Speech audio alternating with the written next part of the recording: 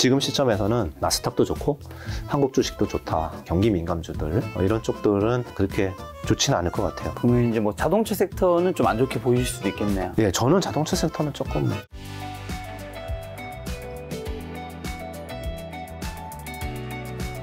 그럼 올해 좀 어떤 주식은 좀 안 좋을까요? 지금 전체적으로 좋게 보지만 모든 게 다 가는 건 아니니까요. 네. 그렇죠. 안, 안 좋은 주식도 있는데 일단은 이제 제가 지금 계속 말씀드린 거는 주가에 대해서 말씀드린 거니까 좀 좋게 말씀드린 거지 네. 경기가 좋아진다는 얘기는 전혀 아닙니다. 네. 경기는요 아직 올해 내내 나쁠 거고 더 나빠질 수도 있어요. 이 사람들이 좀 네. 혼동하는 경우가 있더라고요. 예. 그리고 비관론자들도 조금 그거는 보셔야 돼요. 그러니까, 아, 김태훈 대표 너무 일찍부터 너무 세게 얘기하는 거 아니냐. 근데 저는 제가 이제 느끼지 않는 것들을 얘기하진 않는데, 네. 근데 그러는 부분도 보셔야죠. 한국 코스피가 1년 반 동안 빠졌단 말이에요. 네. 그동안 경기는 그렇게 나쁘진 않았고. 그럼 이렇게 많이 오랫동안 빠진 이유가 뭔지, 이거는 나쁘다, 나쁘다, 나쁘다 너무 겁을 많이 줬던 거예요. 예, 그래서 정말 이제 나빠지기 시작하겠죠. 예, 그런데 그때 그러면은 이거 봐라, 나빠졌으니까 주가도 다 떨어질 거야. 이렇게 보기보다는 어, 많이 반영을 한 기업들이 생긴다. 이렇게 보고, 그럼에도 불구하고 그 이제 질문 주신 것처럼 더 나빠지는 기업들도 있어요. 주가가. 그런데 그거는 아, 아직까지는 이제 경기가 민감하게 반영이 되는 그 경기 민감주들 어, 이런 쪽들은 그렇게 좋지는 않을 것 같아요. 그리고 아니면은 이제 작년에 뭐 굉장히 좋았던 주식들 어, 이런 주식 중에서 워닝이 안 올라가거나 고평가된 기업들도 좀 조심은 해야겠죠. 근데 이거는 이제 나쁘게 얘기하는 거니까 제가 뭐 기업명을 말할 거는 없는 것 같고요. 어, 조금 그 찾아보실 때 경기랑 굉장히 내구 소비재 그러니까 예를 들면 경기가 나빠지면은 줄이는 소비가 있고 안 줄이는 소비가 있잖아요. 네, 그런데 예를 들면은 어, 음식료 먹는 거 이런 거는 안 줄이잖아요. 못 줄이죠. 네, 못 줄이죠. 근데 예를 들어서 옷은 더살수 있죠. 어, 또는 이제 차는 조금 더 타다 바꾸자 이럴 수도 있죠. 네. 네. 또는 뭐 철강제 이런 것들도 마찬가지죠. 뭐 차를 안 사는데 뭐 철강 잘 돌아가게 돼. 예를 들면 그런 업종들은 조금 뭐 주가가 빠진다기보다는 다른 업종보다 덜 오를 거다. 네, 덜 약간 좀 그렇다. 그러면 이제 뭐 자동차 섹터는 좀 안 좋게 보일 수도 있겠네요. 예, 저는 자동차 섹터는 조금 네. 요즘 점차 주문 취소하는 경우도 많이 생기더라고요. 생각보다 차를 그래서 취소한 분이 생기니까 뒷번호 분들이 좀 빨리 받기도 하고. 예, 지금 중고 시장을 보면은 뭐 한국 중고 시장 들어가셔 보시면은 지금 새로 신차들이 넘쳐납니다. 그 이유는 뭐냐면 금리가 올라가니까 할부 금리가 올라갔죠. 그러니까 이제 자동차 새로 신규로 할부해서 사시는 분들이 많은데 네. 굉장히 부담되는 거죠. 그러니까 중고로 매물이 나오는 것도 있고 새로 할부를 해서 살라고 봤더니 어, 할부금이 너무 큰 거죠. 금리가. 그러니까 이제 그런 부분도 있고 이런 게 있고요. 그리고 이제 한국이 중요한 게 아니라 미국이 더 중요한데 제가 진짜 자신, 자동차 좀 조심스러운 부분은 그거예요. 아직 판매량은 늘어날 거예요. 왜냐하면 반도체가 문제가 됐었던 게 지금은 다 해소가 됐으니까 판매량은 늘어날 것 같은데 하나는 이제 단가 측면에서 자동차가 단가라는 거는 미국에서는 항상 할인을 해주잖아요. 인센티브라고 불리는. 네. 어. 그래서 이제 미국에서는 차를 사려면 뭐 3, 4천만 원짜리 사면은 한 500만 원 정도 깎아줍니다. 인센티브로 이제 딜러가 깎아줍니다. 알아서. 그런데 이제 어, 작년까지는 반도체도 없고 차량이 워낙 재고가 없으니까 안 깎아줬어요. 그래서 그거 깎아주는 거를 200만 원, 뭐 빅3, 뭐 한국 현대차는 100만 원, 평균적으로 100만 원밖에 안 줬어요. 근데 한국 차는 워낙 인기 많으니까 다 팔렸다. 적게 깎아줘도 되는 거죠. 네. 근데 지금 이제 경기가 나빠지고 자동차 천천히 바꾸고 금리 높아서 이런 이랬을 때는 네. 차는 사람이 좀 줄어들 거잖아요. 네. 차량 생산은 원활하게 됐잖아요. 이렇게 되면 어떻게 될까요? 원래대로 가야죠. 원래대로. 회복해야죠. 시장에 항상 그 평균으로 가야죠. 음. 그러면은 다시 300만 원 깎아줘야 되는데 네. 인센티브로 그러면은 회사 전체로 보면 ASP라고 부르는 가격이 떨어지는 효과가 있을 것 같아요. 저는. 그러니까 경기가 나빠서 착각을 깎는다는 게 아니라 음. 자연스럽게 이런 것들은 되게 논리적이잖아요. 그렇죠. 논리적이고 사실 내가 경기가 나쁘다 좋다는 거를 예측하는 게 아니에요. 이거는 틀릴 수 있잖아요. 네. 근데 제가 경기가 나쁘니까 자동차 파세요라는 게 아니고 그냥 그런 부분에서는 좀 아쉽다. 음. 그러니까 이익이 증익하는 회사를 사야 되는데 자동차 회사들이 증익을 할 수 있을까? 퀘스천이죠. 대표님이 예전에 내신 책에서 보면 판매 가격을 올리는 이런 조건 기업은 무조건 따라잡자. 방금 전에 연계되는 멘트 같은 이제 내용이 있던데. 네. 그러면 이제 아까 뭐 말씀하신 게 중복도 상관없는데 지금 그런 산업이나 기업은 좀 어떤 쪽일까요? 가격 올리는 기업은 네. 사실은 별로 없고요. 지금 지금은 없는 것 같아요. 예, 지금 원재료가 올라가서 올린 기업들이 작년에 많았는데 네. 이제 주로 그 음식료들이 많았어요. 그러니까. 예, 음식료들이 뭐 밀 가격, 곡물 가격 올라가고 주정 가격 올라가고 이러니까 이제 다 올렸는데 그런 업체들은 어, 이익은 잘 나왔었어요. 이익은 잘 나왔고 근데 주가가 이제 원- 원재료 때문에 올린 거라서 주가가 크게 오르진 못했죠. 어, 그 반면에 지금도 올리고 있는 거는 사실은 수요는 많은데 공급은 충분하지 않거나 일부러 이런 브랜드 마케팅을 하는 데들 이런 쪽은 그런 것 같아요. 그래서 루이비통이 제가 그 전에도 한번 말씀드린 것 같은데 루이비통이 신고가가 난 지가 좀 됐어요. 작년에 이제 샤넬백이랑 이런 거 가격 다섯 번 올렸거든요. 근데 그런 것들은 수요가 많으면 또 올릴 수 있다고 생각이 들고요. 특히 중국에 보복 소비가 있을 거잖아요. 그러면 또 중국 애들이 그동안 이제 백화점 못 가고 해외여행 못 가고 돈 보따리 이만큼 있는데 천조가 풀린다는. 예, 그러면 뭐, 아씨, 명품백 정도야 뭐 가볍게. 아. 예, 그럴 수 있죠. 가격도 올리요. 그렇게 생각이 조금 듭니다. 저 확실한 건 아닙니다만, 네. 예, 그냥 logically 봤을 때는 어, 그럴 수 있다. 그래서 이제 그 외에도 이제 그렇게 수요가 막 몰아닥쳤을 때 좀 부족한 게 뭔지 한번 생각해 보면 될 것 같아요. 예. 그리고 그 책에서도 이런 문장도 있었는데 대규모 증설에 들어간 기업은 강력한 우승 후보이다. 네. 그럼 지금 혹시 어떤 곳이 여기에 해당될 수 있을까요? 제일 센 거는 우리가 이제 뭐 2차 전지 관련주를 뭐 4분기에 좀 못 오른다고 해서 네. 막 굉장히 비판도 많고 선반영했다. 뭐 10배 오른 주식이다. 뭐 이랬지만 네. 실질적으로 또 수주 뻥뻥 나오잖아요. 그래서 가깝게는 포스코 케미칼이 뭐 3일 전에 수주 받으니까 40조 원. 시총 뭐 10조 대 회사가 뭐 한봉 수주 받으면 40조 원 이렇게 받잖아요. 네, 네. 그럼 40조 원을 소화해서 그거 SDI한테 배터리 양극재 만들어 주려고 그러면은 증설을 많이 해야겠죠. 네. 예, 그래서 그게 이제 계속 증설로 이어질 거고요. 음. 그리고 증설 발표는 계속 하고 있어요. 그 양극재 업체들 특히 네. 음, 그런 것들은 계속 증설 사이클에 들어가 있고 제가 뭐 책에서도 그랬고 계속 2년 전부터 계속 말씀드린 게 어, 연평균 한 70%씩 증설을 한 5년간 앞으로도 하고 있는 그런 산업은 없었고 지금도 그게 진행 중이다. 어, 그 산업이 지금 2차 전지 산업이 2차 전지 산업이고 아직도 3년 남아. 2차 전지 중에서 양극재입니다. 양극재. 양극재. 예. 셀 모듈 이거는 다르고요. 네. 셀은 이제 그 양극재, 음극재 다 모아서 이렇게 packaging 하는 거고요. 그게 바로 이제 SDI라든지 음. LG 에너지 솔루션이나 이런 기업들이죠. 예. 네. 그래서 저는 이제 양극재 위주로 그다음에 이제 일부 음극재, 음극재 네. 회사들 이런 쪽이 제일 어, supply chain에서 제일 갑의 위치에 있습니다. 예. 제일 쇼티지가 나는 그런 업체죠. 대부분 근데 그런 쪽은 주가가 이전에 과거 대비해서 굉장히 많이 오르긴 했지만 지금 좀 주춤하긴 했겠지만 앞으로도 좀 시장이 올라갈 여지가 남아 있다는 건가요? 예, 그 주식은 급등하지는 않을 것 같고요. 네. 그냥 삼성전자 같은 주식이 될 것 같아요. 한 2년간은 네. 이렇게 떨어져도 많이 안 떨어지고 올라가도 올라가고. 왜냐면은 계속 이익은 따박따박 낼 거고 옛날에는 비싸다 했는데 PR이 뭐 50배, 40배라고 했는데 네. 지금 LNF 보시면 PR 다 20배 밑으로 다 떨어졌습니다. 예. 이익이 빨리 올라와서 그렇습니다. 창조적 파괴자도 그를 위한 생산자가 필요하다라는 이제 문장도 있었는데 여기 해당되는 곳은 지금은 혹시 어디일까요? 그쪽이죠. 이제 TSMC 같은 네. 회사죠. 예, 그래서 예를 들어서 테슬라가 자율주행을 하건 아니면 뭐 GPT 챗봇이 AI를 해서 음. 더 정확한 대답을 해주려고 하건 다 그거를 만들어주는 소스를 만들어주는 회사들이 있는데 네. 그 설계했으면 팹에서 그거를 사실 칩 디자인 해가지고 생산 완, 완제품 그러면 하드웨어죠. 예, 네. 그런 것들 만드는 것은 역시나 엔비디아라든지 TSMC나 이런 것들인데 이런 기업들이 사실은 작년까지도 굉장히 이익이 좋았어요. 그러니까 어, TSMC가 주가가 많이 빠졌거든요. 거기도 고점 대비 제가 기억으로 한 30% 빠진 것 같고 ASML도 계속 실적 surprise 냈는데 그 정도 빠졌어요. 반도체 사이클에서 벗어나지 못한 거죠. 네.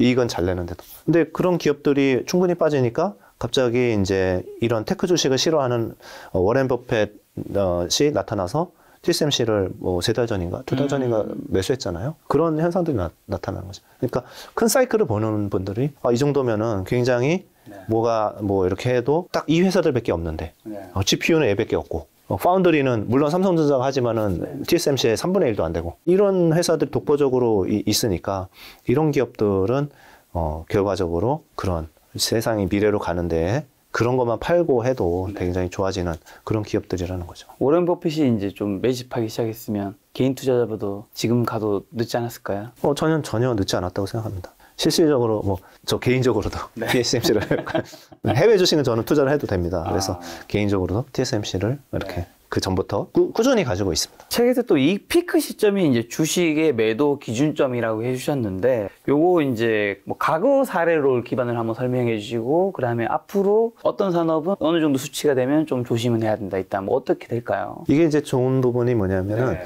큰 사이클이 들어왔을 때 네. 큰 상승이 일어나고 그게 이제 어느 정도 뭐라 그러죠? 성장률이 꺾인다고 그러죠. 그쵸, 성장률이 그쵸. 평탄화된다. 그러니까 막 100%씩 성장하고 있는 건 2차 전지 산업이에요. 네. 2차 전지 양극재 산업은 진짜 매출이 이익이 100%씩 늘었어요. 올해 100% 늘었고 네. 또100% 늘고 이렇게 가고 있어요. 근데 그런 100% 늘다가 갑자기 20%만 느는 거면은 신문에서는 그렇게 나오죠. 뭐뭐뭐 회사 사상 최대 이익 달성. 왜냐하면 전년 대비 20% 늘었으니까. 그렇죠. 네. 근데 그런데 주가는 이미 막 30% 다음에 반토막 이렇게 가고 있어요. 네. 그거는 뭐냐면 우리가 50% 성장하던 회사가 10%로 성장하면은 코스피가 어떻게 성장하냐면 코스피는 연간 10% 성장하는 거를 항상 그렇게 보여주고 있어요. 음. 네. 그래서 코스피가 PR 11배 받잖아요. 네. 그리고 10% 성장하잖아요. 네. 그거를 그냥 자- 잘 아는, 아는 거지만 그 외워두고 그러면은 30% 성장하던 기업이 10% 성장하면은 그 30% 성장하던 기업이 예를 들어 PR이 30배였을 거 아닙니까? 네. 고성장하니까. 네. 그게 10배로 떨어지면은 네. 반의 반토막 나는 거잖아요. 네. 그렇기 때문에 그렇게 이렇게 매도를 잡을 때는 그렇게 잡아야 돼요. 음.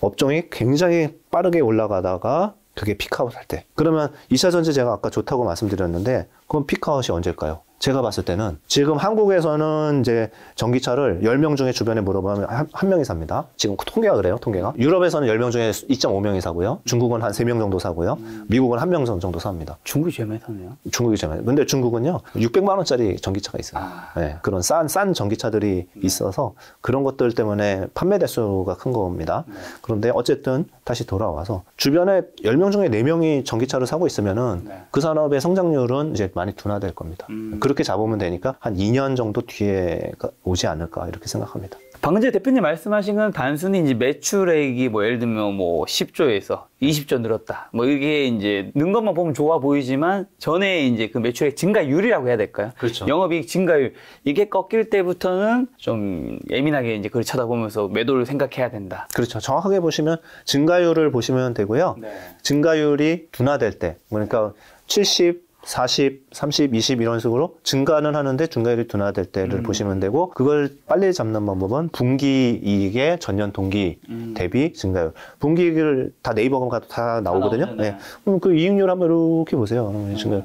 언제 둔화되는지 보입니다. 바닥 잡을 때도 똑같습니다. 막 나빠지다가 언제 다시 증가하는 거 보시면 그때 그때 오를 때가 더 많이 올라요. 그거랑 주가랑은 네. 좀 과거 사례를 봤을 때는 대부분 좀 많이 일치했나요? 예, 일치하는 편이죠. 네, 음. 주가가 더 빨리 움직이기도 하지만은 네. 뭐 특히 반도체 같은 경우는 그렇지만은 어, 보통의 업체들은 거의 일치합니다. 그리고 위기에도 끄떡없는 산업은 독과점적 지위를 가진다라는 문장도 있었는데 혹시 지금은 어디가 거기에 좀 해당할 수 있을까요? 사실 뭐 예를 들면 대표적으로는 애플이 시가총액 1위를 달리고 있을 때 이제 워낙 주가 계속 올라가고 있을 때 이런 얘기 굉장히 많이 들었는데 애플도 많이 꺾이면서 아 독과점이라 해서 꼭 그런 게 아닌가 막 그런 생각도 들기도 하고요. 네. 그렇죠. 아까 이제 말씀드린 거에도 중복이 되긴 하는데 그런 것 같아요. 그러니까 세계에서 나 혼자 하는 것들은 사실상 산업에서 거의 찾아볼 수가 없죠. 그런데 뭐 독 과점이니까 한 두 개 플레이어가 시장을 네. 다 이렇게 다 먹고 있다 이런 것들은 그 그런 모습이 나오거든요. 그러니까 사실은 그런 기업은 빠져도 겁은 나지만 그냥 또 또 사도 언젠가 신고가 가 있고 그런 기업들이거든요. 네. 그래서 말씀하신 것중 애플도 그 중에 하나고요. 네. 왜냐하면 스마트폰 해봐야 애플과 삼성과 그 다음에 중국은 이제 자기들만의 리그로 이렇게 있잖아요. 그러니까 그런 부분도 있고 iOS는 독점이고 구글도 보시면 전 세계 80%를 다 구글 검색 엔진을 쓰니까. 구글도 포함이 되고요. 네. 아까 말씀드린 TSMC는 혼자 거의 시장의 60%를 혼자 다 하고 있고요. 네. ASML이라는 건 제가 아는 유일한 독과점 대기업이거든요. 그러니까 EUV 장비를 만드는 건 전 세계에 ASML밖에 없죠. 그리고 엔비디아 GPU 칩 같은 경우는 네. 뭐 다른 회사들이 있긴 하지만 네. 압도적이죠. 그럼 마이크로소프트도 그렇고요. 다 그런 기업들입니다. 그래서 그런 것들이 위기에 네. 끄떡 없진 않죠. 경기 타는데 그 너무 걱정 안 해도 된다. 왜냐하면 언젠가 신고가 나, 나거든요. 네. 근데 항상 또 그런 명품 주식, 뭐 독점, 경제적 해자 그런 얘기가 들릴 때는 주가가 한창 이제 오르고 있을 때 그렇죠. 그런 얘기가 더 많이 들리면서 네. 내가 사면 약간 내가 고점이 되어버리는 이거를 참 어떻게 구분해야 될까요? 근데 이렇게 막 네. 애플도 막 떨어지고 있을 때는 이런 얘기가 또 많지 않아요. 그렇죠. 맞습니다. 왜냐면 떨어지고 있으니까 하자도 그 얘기를 잘 안 하는 경향이 좀 있더라고요. 어떻게 보면 테슬라도 그쪽에 좀 약간 포함이 되죠. 그런데 이제 여러 가지 신호들이 있는데 그런 걸 알 수가 있는 게 이제 그런 것 같아요. 그러니까 경기가 나빠지는 건 사실 잡기가 어렵잖아요. 일반인들이 잡기는 더더구나 어렵고. 근데 예를 들어서 한 해에 되게 이익 성장률이 좋았고 그 이유가 예를 들어 코로나일 때도 있었고 뭐 다양했었잖아요. 근데 굉장히 좋았는데 애널리스트들이 예측치를 하는데 예측치에서 이렇게 둔화가 되는 걸 보이면은 마찬가지입니다. 뭐 구글이 됐건 애플이 됐건 팔아야 돼요. 그러니까 애플이 만약에 이익이 역성장한다 음. 이런 구간에서 많이 빠질 수밖에 없습니다. 그래서 이런 부분들이 시장에 예상치가 있고 그거를 뭐 비트하느냐 또는 어, 많이 미스하느냐 이런 부분들을 어, 잘 생각해가지고 이제 잡아내는 방법밖에 없습니다. 아, 오늘 굉장히 많은 섹터들 이제 좀 대표님께서 봐주셨는데, 그럼 이제 좀 굉장히 싸 보여서 여기는 정말 너무 저평가되어 있다. 오르는 것도 가능성이 있지만 적어도 여기서 진짜 더 떨어지긴 쉽지 않다. 그래서 좀 마음 편한 곳이라면 어떤 데가 있을까요? 그 우리가 이제 PBR을 보는 이유가 있어요. 아, 네네. 예, 그러니까 PER을 보고 PBR을 보는데 네. 이제 어떤 분들은 우리나라 코스피가 많이 빠져가지고 PR 되게 쌀 것 같잖아요. 네. 아니에요. 올해 예상 PR이 벌써 13배, 14배 이릅니다. 그 이익이 너무 많이 떨어져서 그렇죠. 네, 이익이 예상치가 너무 많이 떨어져서 그래요. 네. 그러면 제가 반문을 드리죠. 자, 삼성전자 주가 바닥 찍은 것 같다 이런 얘기들도 많이 하고 네, 네. 외사들이 삼성전자 목표 주가 올리는 회사가 어제만 세 군데 있었거든요. 네. 골드만삭스도 올리고 세 군데나 올렸는데 더더더 올렸죠. 더 많은데 네. 제가 본 거는 그렇습니다. 그러면은 삼성전자가 PR이 싸서 올리냐? 아니잖아요. 삼성전자 PR이 25배더라고요. 올해 예상 PR. 네. 그런데 우리나라에서 20%를 차지하는 기업이 걔가 예상치 다 깎아먹고 있는데 음. 그러면 우리가 코스피가 14배라고 그래서 비싸서 이제 팔아야지 이렇게 말할 수는 없는 거죠. 그렇죠. 우리나라만의 특성이 있는 거예요. 네네. 네. 그렇기 때문에 PER로 보면은 혼동이 됩니다. 네. 음, 그래서 다시 보는 게 PBR이라는 개념을 보는 거죠. 네. PBR은 쉽게 그렇게 흔들리지 않아요. 왜냐하면 그 순자산이잖아요. 순자산. 그렇죠. 그러니까 부채를 빼고 남은 순수 자본. 내가 회사를 청산하면은 이 정도는 받는다. 음. 이게 PBR. 근데 이제 그게 1배 미만인 기업들은 충분히 많이 싸, 싸거든요. 그리고 싸고 이제 작년에 주가가 특히 많이 떨어진 거에서 찾아야지 음. 뭐막 고공행진하고 있는데 PBR 싼 거는 별로 없, 없긴 하지만 네. 네, 그렇습니다. 그래서 그런 기업들에서 찾으면 되고 거기 플러스 하나 항상 한 것만 해서는 안 돼요. 거기 플러스 뭐 싸면 뭐 합니까? 올라가야지. 음. 싼데 계속 그냥 이익이 안 늘어나거나 대주주가 이상한 짓을 하거나 이러면 의미가 없거든요. 네. 뭐 예를 들어 배당이 늘어나려고 하더라도 기업 이익이 늘어나야 하고 그러니까 제가 아까 초, 초반에도 많이 말씀드린 게 올해 좋아지는 섹터 분, 분기별로 이런 쪽에 겹치는 것들을 공략을 하시면 되는데 거기에 이렇게 겹치는 거 제가 지금 바로 생각해 보니까 예를 들면은 화학 소재도 이제 싼 주식들 어, 그렇게 들어가 있고요. 네. 그 다음에 반도체도 PBR로 보면 쌉니다. 하이닉스도 PBR로 보면 저점이에요. 삼성전자도 하- PBR로 보면 1.1배, 뭐 2배 수준이고 그렇습니다. 그리고 코스피도 PBR 0.85 네. 이 정도 됩니다. 그러니까 전반적으로 제가 틀릴 수 있고 모두가 틀릴 수 있기 때문에 이제 더 올라가지 못하더라도 질문 자체가 더 떨어지지 않을 것들 싼거 뭐냐 이 부분에서는 그런 부분에서 찾으시면은 좀 답이 되지 않을까 이렇게 생각합니다. 네. 대표님도 이제 주식 투자 이제 시장에 계신 지 30년이 넘으셨잖아요. 네. 미국 시장과 이제 한국 시장이 있으면 양쪽 다 이제 투자를 하시잖아요. 네. 어느 쪽이 더 쉬우세요? 그리고 어느 쪽이 더 수익률이 높을까요? 대표님. 장기적으로 보면요 네. 미국이 무조건 높습니다. 네. 네. 왜냐면 이건 장 이건 통계입니다. 네. 네. 그죠. 사실 그 대답이 나올 것 같아서 그 뒷질문을 해서 앞에 사전 질문을 한 거였는데 그러면 네. 자산운용사 운영하시면 한국 주식을 할 필요가 없는 거잖아요. 만약 그 단순하게만 받아들이면 미국 주식 위주로 왜냐하면 장기적으로 여기가 수익률이 더 좋다고 하셨으니까. 근데 네. 한국 주식 분명히 퍼센트 굉장히 높으실 거란 말이죠. 네. 왜 한국 주식을 하실까요? 두 가지를 먼저 말씀드리면 네. 미국이 높다라는 거는 지수로만 봤을 때 음. 예, 지수의 어, 성장률이 물론 이제 한국이 옛날에는 한국이 더 높았죠. 그런데 한국은 이제 저성장에 들어가면서 네. 10년간 박스권에 있었던 시기도 있었고 그렇죠. 이제 이런 부분이고 한국은 세계에 압도적으로 1위 하는 빅테크가 없잖아요. 구글, 아마존 어, 이런 게 아, 한국은 그렇죠. 어, 없죠. 그러니까 네. 우리나라 내수에서는 하지만 뭐 글로벌리 하는 데는 없잖아요. 그러니까 미국이 그만큼 더 올랐던 이유도 이제 그런 세계를 이끌어가는 어, 혁신 산업들이 있었던 건데 네. 그래서 더 많이 올랐죠. 네. 그래서 이제 통계적으로 말씀드린 건데 반면 우리가 코스피만 사고 이러진 않잖아요. 네네. 종목 발굴을 끊임없이 한단 말입니다. 그래서 종목까지 들어가서 그렇게 수익률로 보면은 미국보다 더 높을 수 있는 이유가 뭐냐면은 네.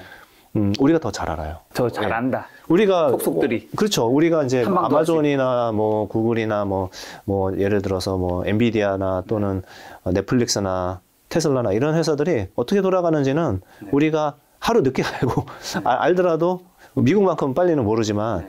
우리는 우리가 체감할 수 있는 거 있잖아요. 예를 들어서 편의점이 더 생기거나 네. 아니면은 뭐, 뭐, 아까 치킨 튀기는 가게 그게 네. 더 생기거나 이런 것들을 우린 옆에서 바로 보거든요. 그렇죠. 그리고 기업 방문도 갈 수 있고, 네. 뭐 스타벅스 매장 몇 개 생기는지 알 수 있고, 네. 이렇기 때문에 어, 우리가 유리한 정보의 우위가 있기 때문에 음. 이 시장을 포기하지 않는 거예요. 음. 네, 그리고 뭐 좋은 기업들도 많고요. 한국에. 네. 네, 그래서 둘 다 이제 그런데 공평한 거는 미국도 많이 빠지고 한국도 많이 빠졌어요. 그래서 지금 시점에서는 나스닥도 좋고 한국 주식도 좋다. 있다라고 생각하고 있습니다. 지금 잘 안다고 해주셔서 한 가지만 질문 더, 더 드리면 어떻게 보면 저는 이제 주식이란 건 어쨌든 내가 사는 거를 내가 돈을 벌려면 네. 나보다 더 비싸게 사주는 사람이 있어야지 돈 버는 건 확실하잖아요. 네. 나보다 싸게 살려고 하면 주가는 떨어질 것이고 그렇죠. 나보다 비싸게 사줄 사람이 있다는 거는 내가 그 기업에 대해서 재무제표든 정보든 뭐든 어쨌든 더 잘 알아서 더 가격을 잘 알고 있고 그거를 덜 아는 애한테 결국 팔게 되는 그림 중 하나 벌어질 것 같은데 그럼 이제 대표님 같은 분은 잘 아는 고수분이라면 저나 일반 개인분들은 아무래도 그런 분들보다 훨씬 잘 모르잖아요. 그렇다면 그런 분일수록 오히려 미국으로 가는 게 맞지 않은가. 어, 그렇게 따지면 뭐 미국은 공평하다는 건데요. 어, 근데 지금 저희가 뭐 투자할 때한 세상이 많이 변해서 요새는 공정공시도 있고 음. 저희가 물론 탐방 가서 더 꼬치꼬치 물어볼 수는 있습니다만 공정공시 위반되는 건 얘기를 절대 안 하거든요. 왜냐면 그거 하나 가지고 자기가 잘못하면은 감, 감옥을 갈 수 있는 리스크를 걸 IR 담당자는 별로 없습니다. 예, 그래서 지금 정보는요 상당히 공평해졌어요 한국에서도. 어, 그래서 그게 하나 있고요. 그 다음에 두 번째는 지금 이것도 유튜브도 마찬가지고 3프로라는 프로그램도 마찬가지고 거의 전문가들이 나와가지고 자기가 아는 지식을 다 쏟아내고 가요. 그리고 여기서 헛소리 하면은 바로 댓글에 이상한 소리 달리고 다음에 안 나오 못 나옵니다. 쟤 헛소리 한다. 예. 그렇기 때문에 그 전에는 뭐 이제 뭐 차트 가지고 이렇게 막 분석하시는 분들이나 뭐 빅이 안 보여주고 뭐 수익률 높은 것만 보여주고 이런 분 이런 것들도 아직도 있지만 그런 것도 있지만 그러면은 이게 명예가 떨어지고 아, 이렇잖아요. 그러니까 소, 솔직히 말하면 제가 아는 거 여기서 다 얘기하고 가요. 네, 네. 그리고 이상한 밑밥도 안 깝니다. 저 저한테 도움되는 게 없어도 성실하게 얘기하고 갑니다. 이거를 거의 실시간으로 다 볼 수 있는 이런 환경이거든요. 그래서 저는 지금의 정보의 우위는 기관 투자가 훨씬 높다고 생각하지 않고요. 마지막으로 또 좋은 번- 거는 뭐냐면요. 지금 시장에서 이 좋은 종목들을 얘기를 해도 안 사는 사람이 훨씬 많아요. 왜냐하면 지금도 되게 나쁘게 보는 분들이 좀 굉장히 많다는 투자 거고. 심리 굉장히 안 좋아졌죠. 예, 지금 저는 좀 놀란 부분이 뭐냐면 연초 이후로 주식이 조금 올랐는데 순매수 1위가 곧버스라고 그래서 인버스의 두 배짜리를 산 게 기사를 보니까 1위더라고요. 떨어지길 생각한다는 예. 거겠죠. 근데 이게 떨어지는 것도 확신 있게 떨어진다고. 그러니까 두 배짜리니까. 네. 그리고 3등이 2등이 삼성전자, 3등이 그냥 인버스였어요. 아. 어떻게 보면은 되게 안 좋게 보는 분들이 많다는 건 뭐냐면 현금 가진 게 많고요. 음. 그렇죠. 음. 비워놓은 게 많고요.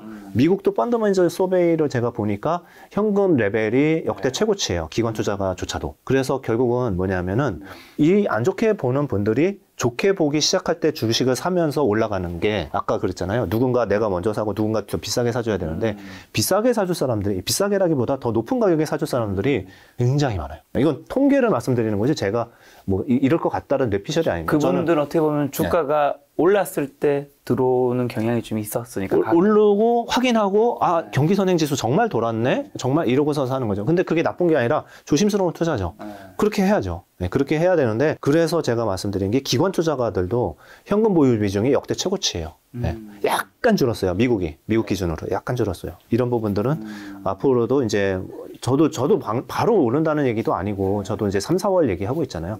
그래서 지금 이제 세게 얘기하는 거는 빠지면 이게 걱정 하지 마십시오. 이제 이- 많이 빠졌습니다. 그 얘기하고 이때 사셔도 그 이후에는 항상 사면 제가 박스권 올라가면 팔아라 계속 그렇게 말씀드렸어요. 3% 나가서도 이거는 박스권 반등장에서는 반등하면 팔고 밑에서 사고 계속 그 얘기를 했는데 제가 지금 다시 선언을 하면은 이번에는 아니다. 아니다. 이번에는 박스를 뚫을 수 있다. 3, 4월, 5월 뭐 이 중에. 그러니까 반등했다고 그래서 함부로 팔면은 네. 또 위에서 사, 사야 될 수는 있는 음. 때도 있을 수 있다. 이게 이제 좀 제가 바뀐 거예요. 저는 정보에 어떻게 보면 공평화된 거에서 이제 생각이 나는 게 요즘에 이제 댓글 다는 분들이 워낙 요즘에 유튜브 영상도 재테크 영상이 워낙 많으니까 그렇죠. 상승 얘기하는 분도 있고 하락 얘기하는 분도 있고 뭐 섞이니까 뭘 선택해야 될지 모르겠다고 많은 분들이 댓글 다는 경우 있거든요. 근데 충분히 공감 가능한 거긴 한데 저는 사실은 근데 그거는 옛날보다 나은 고민이라 생각해요. 옛날에는 정보조차 없어서 아. 내가 판단을 어디를 해야 될지 모르겠는 그